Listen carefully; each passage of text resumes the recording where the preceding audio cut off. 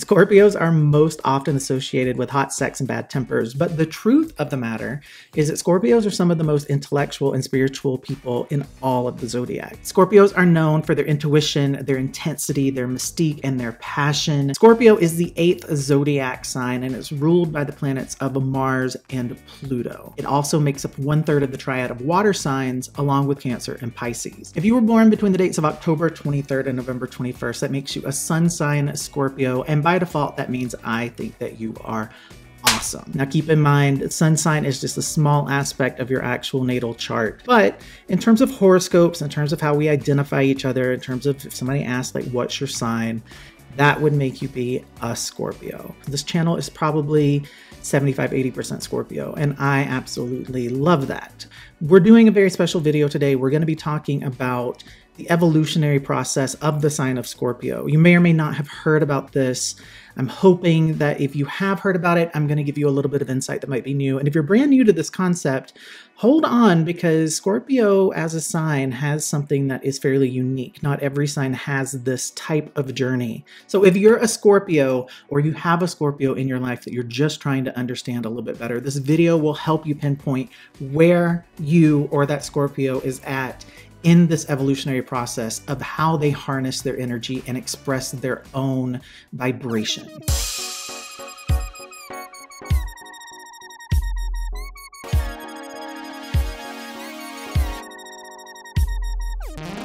Hey guys, it's Keaghan. Welcome back to my channel. If you're new here, welcome for the first time. Uh, I'm super excited about this video. As a Scorpio myself, it's always fun when I sit down to do a Scorpio-based video. This one in particular, I'm super excited about simply because I think this is something that a lot of Scorpios don't understand about themselves. It's something that maybe some people haven't been exposed to. There's lots of different approaches to this. I'm going to talk about my own way of categorizing this, my own approach to it, what I personally believe. I just wanted to sit down and do this particular video and uh, see how it turns out, honestly. I have to tell you guys, I've been in a really uh, interesting space in my own life. I'm not going to talk too much about that. I'm probably going to do an update video for you guys and post that separately, but life's been really good. It's been really, really amazing. And I've been taking the time to just focus on that and enjoy it, which has felt uh, Uh, fairly amazing to just be present. I have seen the comments, I've seen the request, I've seen the where are you, why are you not posting, what's going on. Again, there's going to be a video that is specific to all of that information that I will put out just for the people who want to know about it uh, and and uh, you know we'll we'll have a bit of a dialogue, I'm sure, around that. Now, I did post a video a couple of weeks back that is about happiness, and if you have not checked out that video, I'll put a link up. I'm not sure which side it's going to go on because I can never remember how to make my brain think about that, but there will be something that pops up here that will be a link to that happiness video. And if you have not seen the other Scorpio specific video that I did, which is Scorpio Secrets Exposed. I'll put a link up to that one as well. That video has been so fun because uh, it was the first video that I did that wasn't specific to tarot. Uh, that was just me talking about a sign and giving some characteristics of it. And the response to that video has been awesome. It's currently my fifth most watched video. It's been having a bit of a moment the past month. I'm not sure what's going on, but the views have really taken off in the past month. If you are a Scorpio and you've not seen that video, go watch it and then go into the comments and hang out there. Watch this video, of course, first, but go make, just make a mental note to go watch that one as well. Uh, the comment section is so much fun. It's so Scorpio. It's just comments from nothing but Scorpios talking about different aspects of the video and, and making suggestions about things that I should talk about in the next video that's related to that. So uh, if you want, just go hang out there. It's super fun. So we are going to talk about the Scorpio evolutionary process as promised. I do just want to make one plea with you guys first before I dive into that, and that is to go follow me on Instagram. I'm on Instagram, it's Keaghan Tarot there as well. I want to do more with Instagram. I think I could actually have a lot of fun with it. I want to do maybe like a little daily spread or have some sort of Instagram story where I'm just connecting with you guys in a different way. The problem is I forget to mention Instagram in these videos when I do them, and then you guys don't know to go follow me there because you don't know that I'm there. And then because there is no audience really right now on Instagram, I don't do a lot. Uh, so you can help me by going over and following me there. I'll start doing more stuff there on a regular basis. Uh, that would probably be the easiest way to connect with me daily. If you're interested in that, I'll figure out what I'm doing and I'll get to a schedule and a routine. It's just when I go and there aren't a lot of people there and I don't get a lot of interaction, it's hard for me to keep my focus and attention on it, and I don't do anything. I wanted to make that plea with you guys because I suspect a lot of Scorpios are going to watch this video, and it would be fun to have you guys join me over on Instagram and see what we come up with in terms of fun things that we do there together. One last thing before I dive into this, if you are watching me for the first time or if you've been lurking on my videos and have not yet taken a moment to subscribe, go ahead and hit the subscribe button, join, make the community a little bit bigger, help me feel better because I'm a little bit needy and I like attention and I want to see the subscriber count go up. I do want to encourage you to hit subscribe. It really helps the channel. It helps the videos reach people that need to hear them. And it also just really gives me a boost and makes me feel like I want to sit down and do more of these videos more frequently.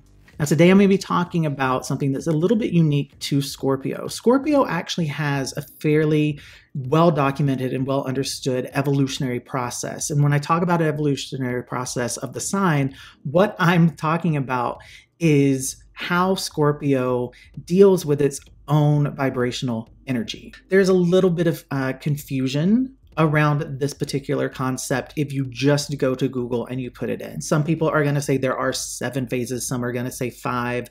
The uh, you know the animals that are associated with the different phases, they're all over the place. To keep things simple here on YouTube, I'm mean, talking about three specific phases using three specific animals. Now, if you've heard about this in a different way, if you personally have this as something in your mind that is five steps or seven levels, or if you have an eagle or a dove, it's okay. We're talking about the same thing because basically what we're talking about is how Scorpios manage to deal with raising their vibrational energy. Now, I do want to say for me personally, I don't necessarily view these as being ranked from like worst to best.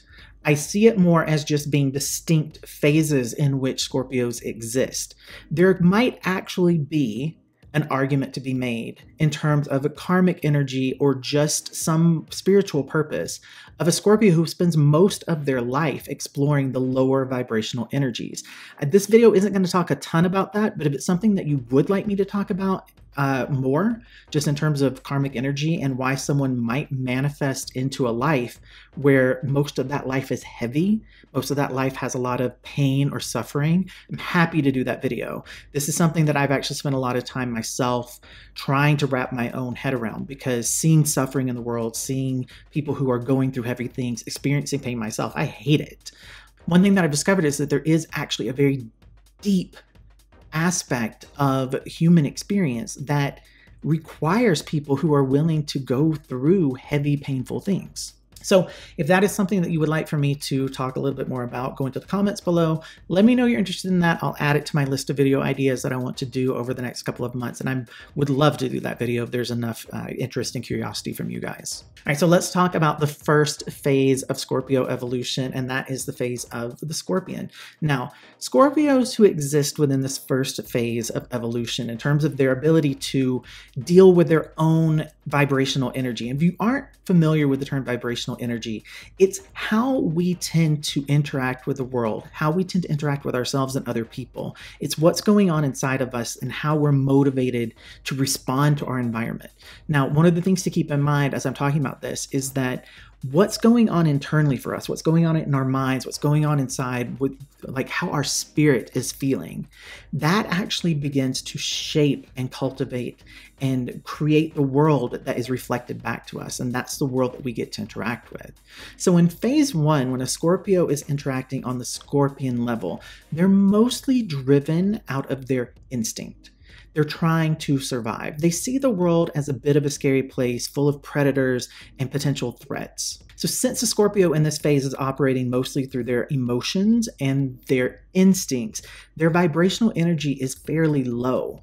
So they can be reactive, vengeful. They can get a bit obsessed with sadness, and they exist in a state that is best described as pretty much nonstop melancholy depression, self destructive behavior, toxic relationships, these things are all hallmarks of a Scorpio that's existing primarily within phase one associated with the scorpion. Addictive behaviors are also fairly common for Scorpios that are existing within phase one. For phase one Scorpios, at the slightest perceived threat, these Scorpios will lash out. The stinger aspect of the sign of Scorpio is very heavily associated with phase one in terms of the evolution and what's going on with the energy of that person. Now, what's interesting about this is for phase one Scorpios, they're not the only phase that will use the stinger, but what's a distinguishing factor for phase one Scorpios versus the other phases is that phase one Scorpios, when they do lash out, when they attack and they let the stinger loose, they tend to then rush away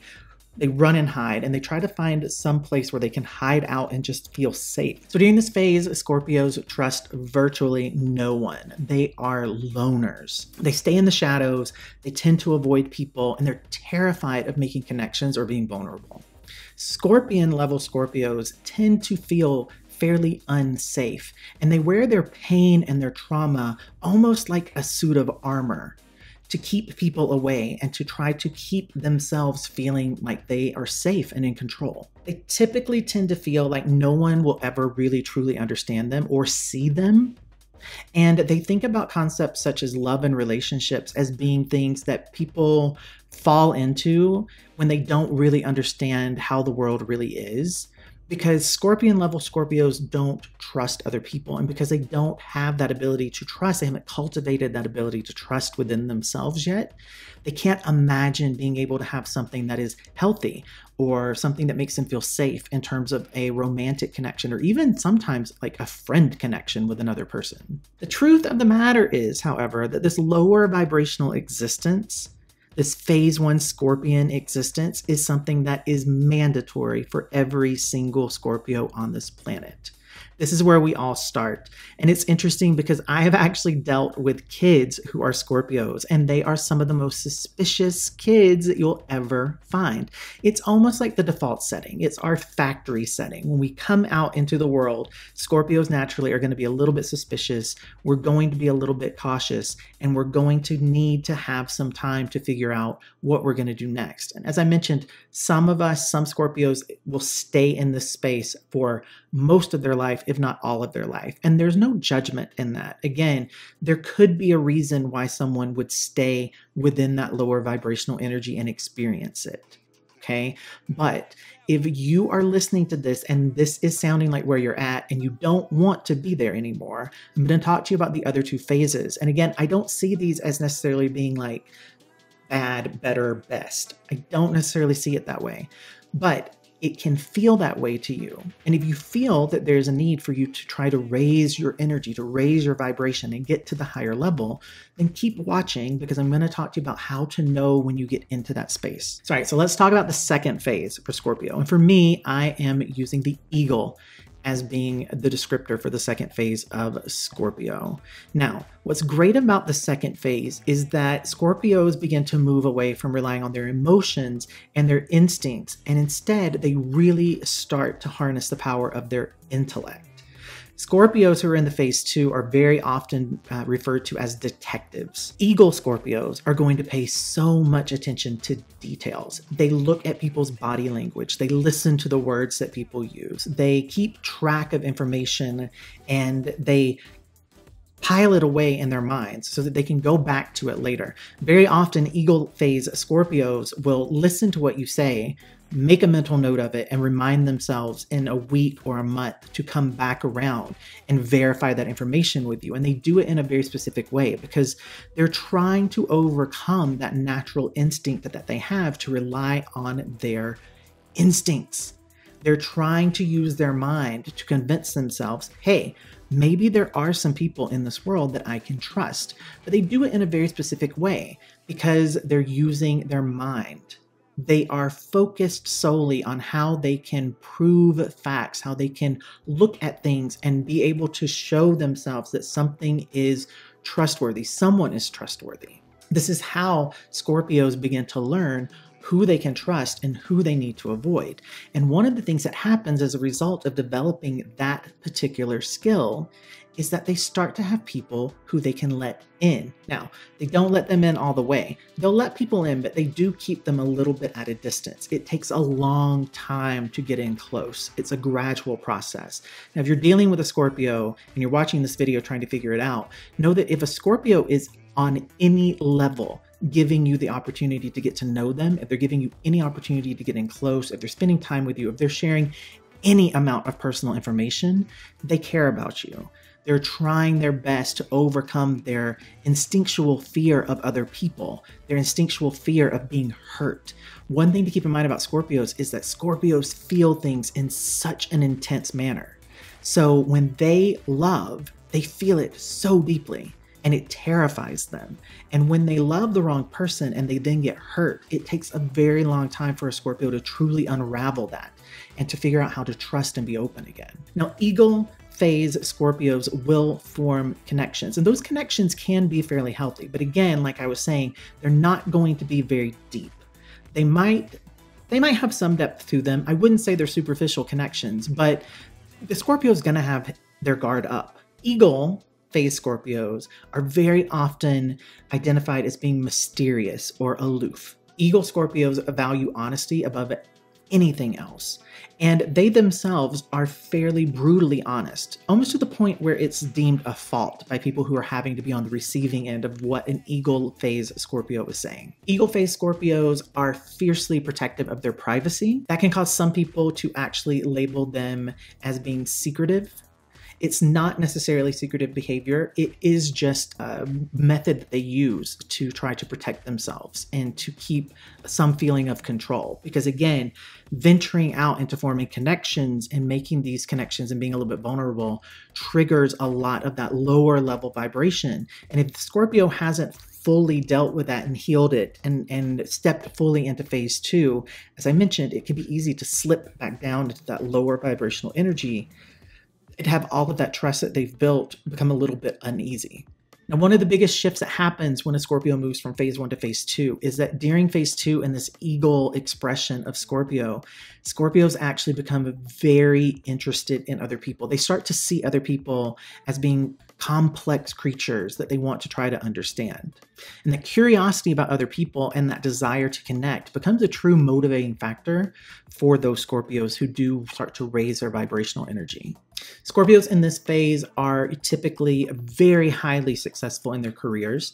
Scorpios can have a bit of an obsessive quality to them. And when that obsession is focused on their career, it means that they're willing to put in longer hours, take on more projects, go further than most of their their peers and colleagues would. And so a lot of times Scorpios in this particular phase start to see wild success that begins to manifest in their chosen careers. Their personal lives, on the other hand, can be a bit of a roller coaster with people coming in and out, relationships not necessarily remaining as stable as they want. And the reason for that is because during this phase two, as a Scorpio is learning to regulate their energy, one of the things that they really do not feel the need to regulate is their intensity. So people who are dealing with them usually are overwhelmed by the intensity at which Scorpio comes at them. And for the Scorpio, they see no reason at all to regulate this or to try to uh, have a different type of intensity based on the person that they're interacting with. That expression of intensity is one of the things that Scorpios in the eagle phase really values about themselves. They love the fact that they're intense people. They love the fact that their emotions are intense. The intensity with which they feel, even when they're feeling bad things, even if they're feeling sadness or depression or they're feeling anxiety the experience of that emotion and being able to sit in it fully with full intensity it's it's addictive to a Scorpio that's in the eagle phase. Eagle phase Scorpios can become quite fixated on their status and their success, and that can become the full embodiment of their life. And again, this doesn't necessarily mean that they're better or worse than the other phases, it just means that's where their energy becomes fixed. But for some eagle phased Scorpios, an interesting thing happens. Now, one of the things that you've heard me talk about if you watch other tarot readers or if you've studied spirituality at all, your understanding about the concept of dark night of the soul is probably at least fundamentally there. If you're not familiar with that, you want me to talk about it more, go into the comments, let me know. I'm happy to do a video on the Dark Night of the Soul. Having gone through that process myself, I can tell you it's very interesting and it's actually not as scary and terrifying as it sounds. But for Eagle Phase Scorpios, who do spend a lot of time having these in and outs with other people, caring about people, losing people, focusing on the career, if they get to a point where they start to feel like that isn't enough, something very interesting happens. Some type of life changing event is going to occur. Now, this event might be something that's very painful, but it could also be something that is just overwhelmingly, unbelievably exciting that brings a ton of happiness into the Scorpio's life.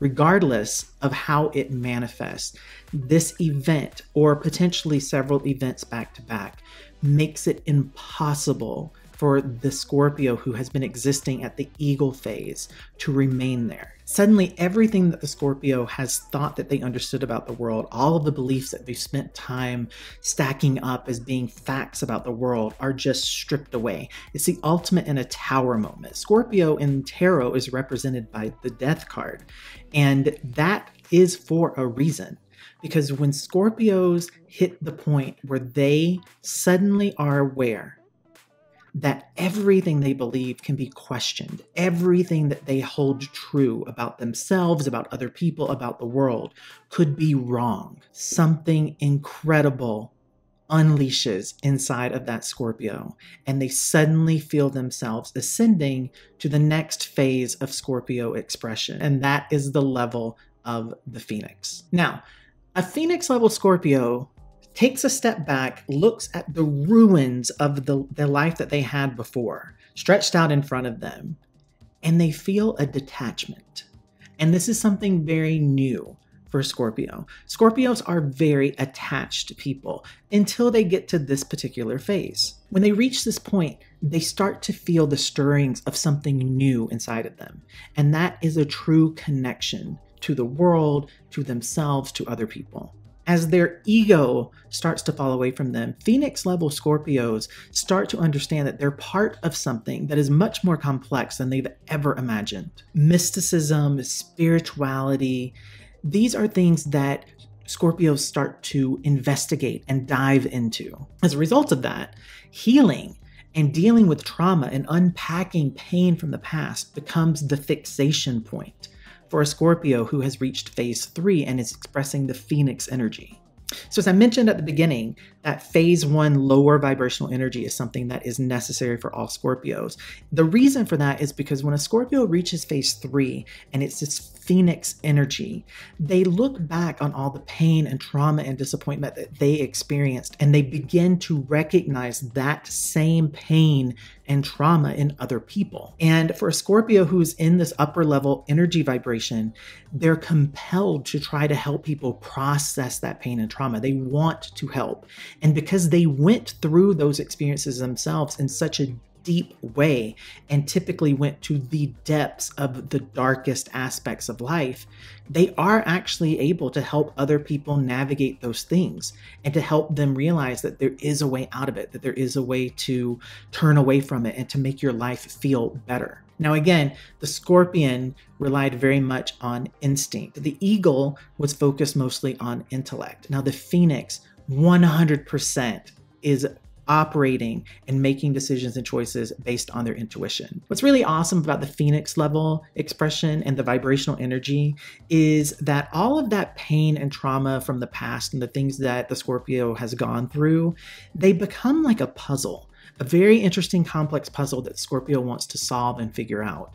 And all of the energy starts to shift. And instead of being fixated on the lower vibrational experiences, which is pain and disappointment and sadness and, and that feeling of melancholy and being depressed and being addicted to things and, and struggling. Higher level vibration Scorpios understand that because they've gone through those things, because they understand those emotions and they have that experience within them, by default, they can then understand the opposites just as intensely. And so Phoenix level Scorpios begin to think about happiness and what they can manifest into their life and the types of connections they can have and the depths that those connections can manage to have if they can just open up and be honest and truthful. And this becomes the new obsession for Scorpio is being able to form really deep bonds with people, being able to open up to people and develop trust. Phoenix level Scorpios often become obsessed with trying to see exactly how wonderful and amazing they can make their lives. Now, you'll find a lot of Phoenix phase Scorpios doing work that helps other people. Now, that could be what I'm doing here in this video, being able to help people. I do a lot of work with people one on one and personal readings, helping them navigate their lives, their trauma, deal with relationship issues. But other things that you might see uh, Phoenix phase Scorpios doing therapy work. You might see them becoming teachers. Any aspect where they're getting to help people deal with things, help shape people's lives, help people want better for themselves, help people navigate painful things. That is going to become the true calling for a Scorpio who has managed to get their vibrational energy up high enough that they can then focus that intensity that they naturally have towards bettering people and making their lives feel happier and more enriched. Now, Phoenix phase Scorpios still tend to keep their social circle fairly small, but within that circle, there is a depth and a richness. And Scorpios are so happy to have found people that they can connect with. And they do have connections with people that span decades, if not their whole remaining life. They will stay loyal to the people who have shown up for them and have helped them to develop trust who have been there and have been patient with them and dealt with the different ups and downs and and given a sense of stability to the Scorpio who is trying to regulate their intensity, trying to get control of their energy, trying to lift it up and get themselves into that higher expression. All right, so I'm super curious what you guys thought about this particular video. Where do you see yourself in the evolution of Scorpio? If you are a Scorpio or if you're dealing with a Scorpio where do you see that person? Now again I have no judgment. If you are expressing your Scorpio energy at that scorpion level that's fine. That's where you're at. There's not a, there's no right or wrong good or bad in this video. Now you can go online, you can read people who are absolutely going to say that the lower level vibrational energy is bad and you should eh, we should all be aiming to, you know, bring it up ideally, if you feel like you need to make a change, if you feel like you want to change things and you want to, you know, raise your vibrational energy, then you should do that. But there are going to be people who come into this world and they chose to have a life that is mostly experiencing that lower vibrational energy. And there's a reason for that. There is a true spiritual purpose for it. Again, if you want to know more about that, let me know it in the comments and I'll do a video specific to that. Now, as I mentioned at the top of this video, I did want to do something special. So associated with this video, I'm going to do a separate video where I do a tarot reading that is about the evolutionary development of Scorpio. And I'm not quite sure how that's going to go yet. I haven't done it. I have a rough idea of what I want to do, but I'll put a link up to the video because I'm going to post them at the same time. So you can click through and watch that video. It's a reading based on this video and the concepts that I talk about here. So you can go over and watch that. Make sure that before you leave, you click on subscribe and join the channel. I want to see the channel grow. I really want to like double our subscriber count. I want to be able to have huge success here and that depends on you just simply clicking on the subscribe button. If you want to get notifications from YouTube when I put up new video content, make sure you also click the bell notification icon. And if you're still here and you're curious and you might want to work with me one-on-one, -on -one, you can send me an email, keaghantarot at gmail.com. I'll put that up here.